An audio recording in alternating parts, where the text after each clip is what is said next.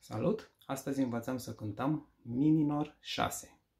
Acordul de Mi minor 6 are pe lângă notele Mi, Sol, Si și sexta, adică nota Do diez. Deci pe lângă acordul de Mi minor pe care îl cunoaștem, trebuie să așezăm și Do diez.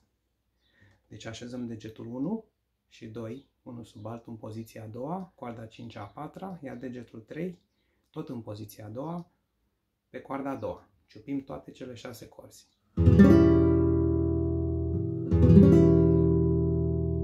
Mi minor 6